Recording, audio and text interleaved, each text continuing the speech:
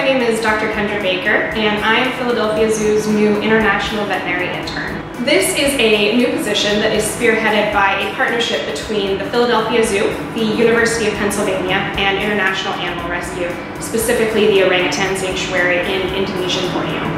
I will be spending the next six months here at the Philadelphia Zoo, learning the nuances of primate medicine, but also doing the clinical medicine portion of the rest of the animals that call the zoo home. After I will spend a year in Indonesian Borneo doing the clinical medicine portion of the rehabilitation and release of orangutans.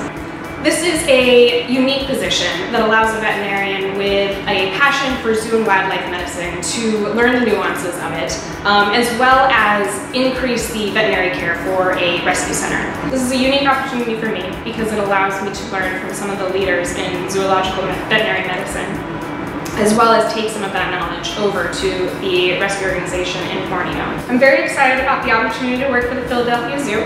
Follow along on the zoo's social media platforms if you'd like to learn more about my time here.